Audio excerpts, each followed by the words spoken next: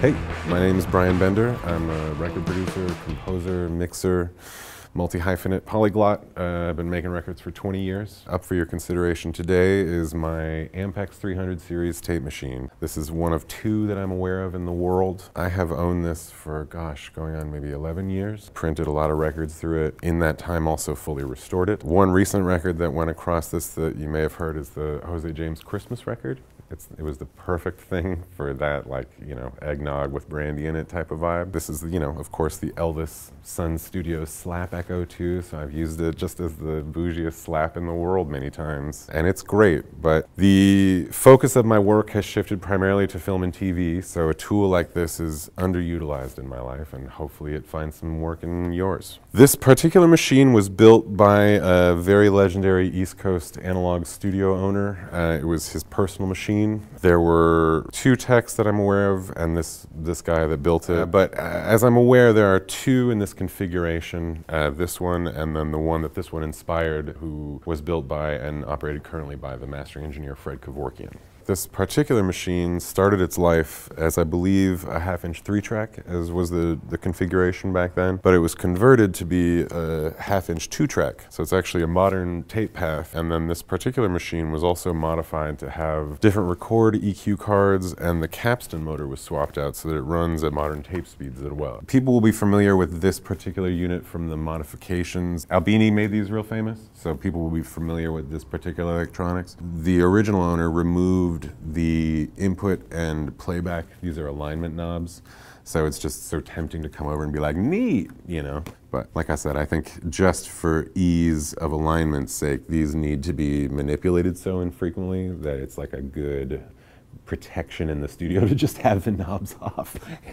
you could record something on this and have it played back on a Studer 827 vice versa. You know, these machines initially ran at seven and a half and 15 IPS, which are not speeds that are still primarily widely utilized today. 15 is still a modern speed, but 30 is what most people like to use as a print down for half inch at this point. And this, this machine does that. So this is the tape transfer speed control. This is a stock function, but on this particular unit, like I said, this is 30 IPS and this is 15 IPS. So you've got your uh, transport controls, this fun Cadillac looking flapper is how you change the modes, and then these buttons have the same function. So playback at 30 IPS, which like I said, there are no, as far as I'm aware, there's two Ampexes that play back and record at 30 IPS. Um, in order to change the transfer functions, you simply move this chicken head. Now we're rewinding. Stop fast forward. That's it. And then, you know, pop it and play, record, record start.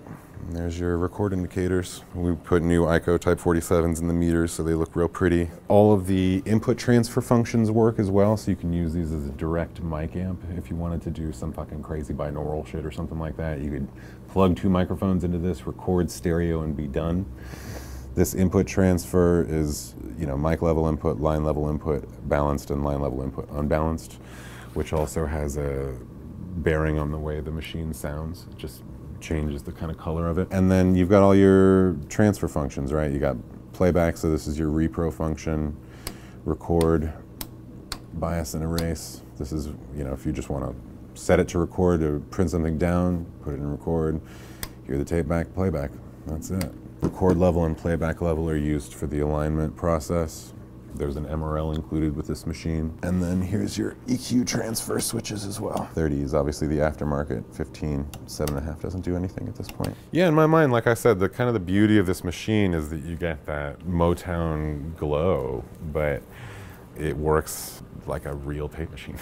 it's not, you know, it's not like a curio. It's not an antique that doesn't function. Uh, one of the fun original mod, the mods that the original owner also did was that there's a counter which slightly modifies the tape path in order to make the machine a little bit more stable at 30 IPS. So that's kind of a cool feature that none of these Ampexes have. If you're doing punches or whatever, you can reset the counter and then, you know, it follows playback. I had it fully restored. Uh, Ian at Love Magnet went all the way through it. Everything's good to go. It's, uh, it's turnkey. Yeah, I've printed records to it. Uh, it sounds amazing. It's all the sort of euphonic benefits of the 351 electronics and the sort of ease of maintenance of a 300 series transport, but also kind of still works in the modern context of studio. And you could send this to a mastering engineer that could actually deal with it instead of having to deal with seven and a half hips or something, you know. If you've heard any recorded music, you've heard this machine. This is the sound of American recording from the 60s. This is Motown, this is Elvis, this is Sinatra, this is every single one of those records. Then importantly also modernized and brought into a context that makes sense in the, in the modern recording studio, which is, I think, the real value and its rarity. It's something that connects to the diaspora of music that we've all grown to love, but also is a tool that can still work flawlessly for another 30, 40, 50 years. And then again, like this, I sort of feel like is one of those projects where a lot of people have maybe had this idea, but this one exists. This one works, and you can like hit play on it.